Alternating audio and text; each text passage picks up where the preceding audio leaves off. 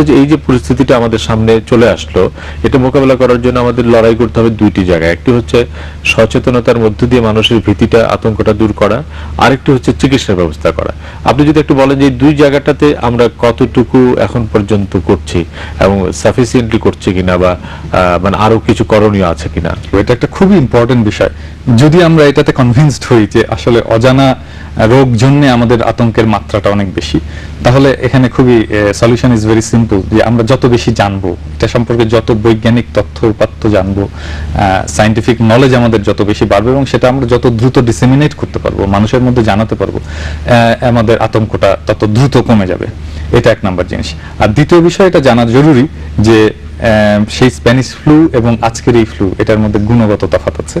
আজকের ফ্লু আজকের H one N one virus এইটা স্প্যানিশ ফ্লু এর মতো মারাত্মক না, এটা অনেক দুর্বল ভাইরাস এবং অধিকাংশ ক্ষেত্রেই এইটার আক্রমণ, এটা মাইল্ড মাইল্ড ধরনের, মৃদু ধরনের একটা জ্বর, গায়ে গায়ে ব্যথা, সর্দি, কাশি এটা হয়।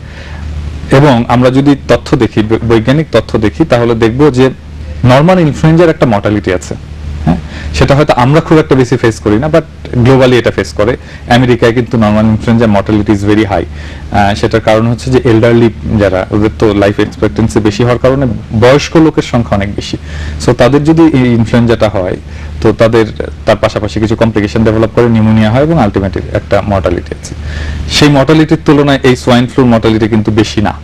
তো তার মানে আমরা যদি এটাকে বলি যে মারাত্মকের দিক থেকে কতটুকু, তাহলে আমরা এটা নিশ্চিন্তে বলতে পারি যে এই, এটা মারাত্মকের দিক থেকে আমরা নর্মাল যে সর্দি জ্বরে ভুগি, সেইটার মতোই এটার ভেরুলেন্স এটা। আর দ্বিতীয় আপনি- আপনি যে প্রশ্নটা জিজ্ঞেস করেছেন যে আমরা কতটুকু প্রস্তুত, বাংলাদেশে আমাদের একটা ইউনিক হেলথ সিস্টেম আছে এবং সেটা হচ্ছে যে সরকারি হেলথ সিস্টেম জনগণের দোরগোড়ায় পর্যন্ত। আমরা স্ট্রাকচার্ড হেলথ কেয়ার সিস্টেম আছে। এবং এটা আমাদের একটা বড় শক্তি। আমরা যে কোনো মেসেজ যে কোনো ট্রেনিং আমরা খুব দ্রুত গ্রাসরুট লেভেলে পৌঁছে দিতে পারি। এবং এই কারণে কিছুদিন আগে সোয়াইন ফ্লু নিয়ে বা এই প্যান্ডেমিক ফ্লু নিয়ে যে কনফারেন্সগুলো হয়েছে, সেখানে বাংলাদেশের উচ্চ প্রশংসা করা হয়েছে তার প্রিপেয়ার্ডনেস দিয়ে। এবং আমরা যে সময়টা শুরু করেছি, এই প্যান্ডেমিক ফ্লুর এগেনস্টে কাজ এবং সার্ভাইল্যান্স সেটা অন্য যে কোনো দেশের তুলনায় ইভেন ইন্ডিয়ার তুলনায় আমরা অনেক আগে শুরু করেছি, এবং সেটা সুফল কিন্তু আমরা পাচ্ছি। আপনি দেখুন যে আমরা ল্যাব কনফার্মড যে কেসগুলো হয়েছে সেই কেস যতটুকু সেটা কিন্তু আশেপাশের যে কোনো দেশের সিচুয়েশনের চাইতে মনে হবে যে অনেক বেশি কন্ট্রোলড আমাদের এখানে যত ঘনবসতিপূর্ণ এলাকা সেখানে যত দ্রুত ছড়ানোর কথা ছিল বা আশঙ্কা ছিল, তত দ্রুত কিন্তু ছড়ায়নি। এটা একটা জিনিস। নাম্বার টু হচ্ছে ক্যাজুয়ালিটি ক্যাজুয়ালিটি এখন পর্যন্ত একটা কনফার্মড ডেথ এবং আপনি যদি পার্শ্ববর্তী দেশও ধরেন, সেখানে কিন্তু সিক্সটি থ্রি ডেথ এবং আমরা একই সময় আক্রান্ত হয়েছি।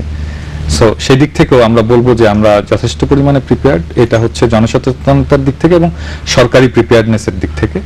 আর পাশাপাশি যদি বলি যে চিকিৎসার সংক্রান্ত যে প্রিপেয়ার্ডনেস সেই প্রিপেয়ার্ডনেসটাও আমার বিবেচনায় যথেষ্ট আছে। তো চিকিৎসা সংক্রান্ত তো দুইটি। একটি হচ্ছে যে হাসপাতাল, একটা হেলথ সার্ভিস ডেলিভারি যেটা আপনি বললেন যে জনগণের দৌড় করে আমাদের ইনফ্রাস্ট্রাকচার আছে।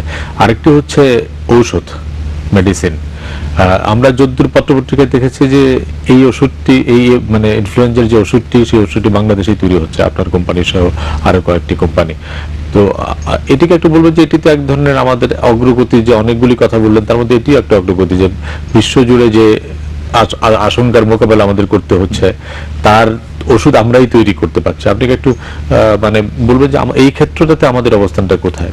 এইখানে আমি আরেকটু যোগ করতে চাই। সেটা হচ্ছে যে ইনফ্লুয়েঞ্জা এই সোয়াইন ফ্লু রোধ করার জন্য আমাদের কিন্তু number one defence number one defence কিন্তু ওষুধ না। নাম্বার ওয়ান ডিফেন্স হচ্ছে স্বাস্থ্য সংক্রান্ত আমাদের অভ্যাস, সেইটার পরিবর্তন। যেমন ধরুন যে ফ্লুটা ছড়াচ্ছে কীভাবে, সেটা যদি আমি দেখি যে ছড়াচ্ছে কীভাবে, হাঁচি বা কাশির মাধ্যমে ছড়াচ্ছে। সো হাঁচি দেওয়ার সময় আমরা যেটা করি আর কি আমাদের এটা, আমরা এটা আত্মসমালোচনাই করি যে আমরা আসলে হাঁচির যে এটিকেট সেটা কিন্তু আমরা মানি না আর কি। আমরা জানিও না অথবা মানি না। যেমন আমরা প্রকাশ্যে হাঁচি দিয়ে দিই সশব্দে হাঁচি দিই এবং মুখ থেকে অনেক কিছু বেরিয়ে যায় এক জায়গায় পড়ে এবং সেটা একটা বিচ্ছিরি একটা অবস্থার সৃষ্টি হয়। এবং যারা একটু সচেতন তারা হয়তো হাঁচি দেওয়ার সময় হাত দিয়ে মুখটা ঢাকি। এটাও কিন্তু একটা বড় ধরনের বিপদ কারণ আমার হাতে কিন্তু লেগে গেল সবকিছু। আমি হ্যান্ডশেক করলাম একজনের সাথে তার হাতে লেগে গেল সাথে সাথে। আমি যে দরজার নখ খুললাম দরজার নবে লেগে গেল। সো এই এই যে হাঁচির এটিকেট এইটাকে আমাদের পরিবর্তন করা দরকার খুব জরুরি হবে এবং এটা যদি আমরা সেটা শুধুমাত্র সোয়াইন ফ্লুর কারণে না এমনিতে সব। অন্য যে কোনো অসুখ আপনি টিবি প্রিভেনশন করতে পারেন এভাবে আপনি অন্য যে কোনো হাঁচি বাহিত যে কোনো রোগ এভাবে প্রিভেন্ট করতে পারেন। সো এখন যেটা এটা কিন্তু আমাদের